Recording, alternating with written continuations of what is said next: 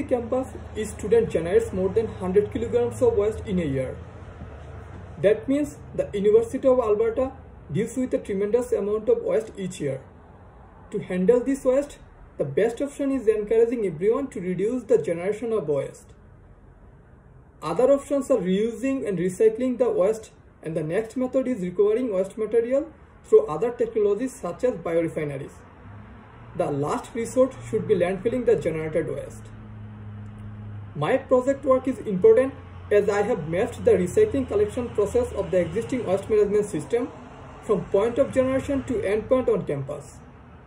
Another major objective of this project is to develop a process map of the ideal future waste collection system and routes in terms of cost savings, time savings, labor and resources savings.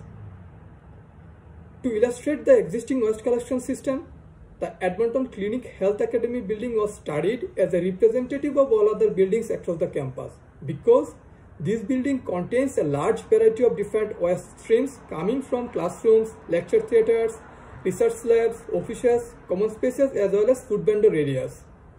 Therefore, if that building needs improvement in the recycling collection system, other buildings will need improvements as well.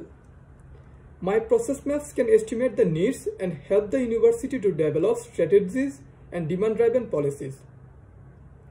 Imagine a student who needs to dispose of the empty sandwich bag and crumpled napkins that remain from their meal. They find a zero station with four options, landfill, recycling, mixed paper and organics, and then continue on their way to catch their afternoon classes. Zero stations are targeted on source separation of papers, coffee cups, plastics, organics, and specialized recycling streams. The waste disposed of by the students is then collected and transported to building loading docks by cleaning staffs. But there are food vendors too.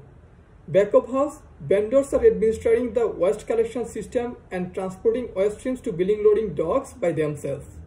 So, Disposing waste material properly is everyone's responsibility. As part of its ongoing commitment to sustainability, the university reached a waste diversion rate nearly 60% in 2017 and has a goal to achieve a 90% waste diversion rate over time. U Alberta is getting closer to that goal each day by consistently applying and improving waste diversion practices. Now, we need to do our parts and dispose of waste material in proper bins at zero stations.